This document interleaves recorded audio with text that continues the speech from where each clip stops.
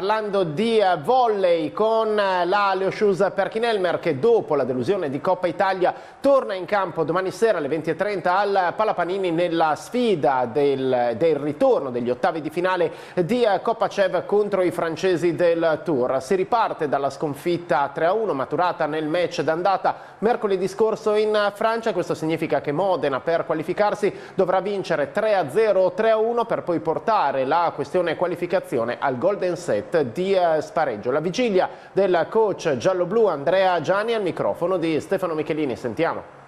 Come avete affrontato il giorno dopo la delusione dell'eliminazione dalla Final Four di Coppa?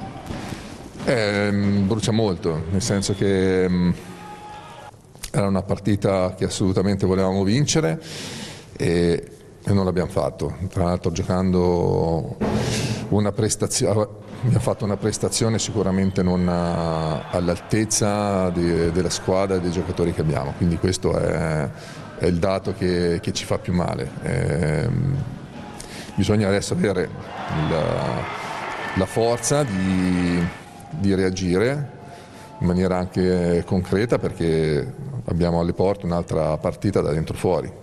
Dobbiamo um, essere pronti a, a chiudere il capitolo Piacenza, quindi Coppa Italia e cercare di uh, essere estremamente competitivi nella partita che affronteremo domani. E noi abbiamo quattro obiettivi no?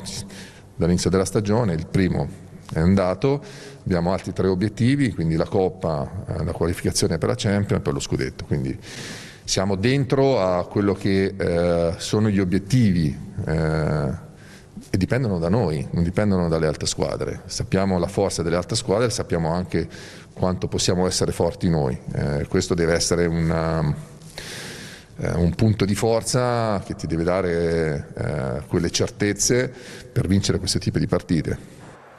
E di volley si parlerà anche questa sera su eh, TRC, l'appuntamento delle ore 22 con Barba i Capelli, ospite il libero di Modena Volley, Salvatore Rossini. Parliamo anche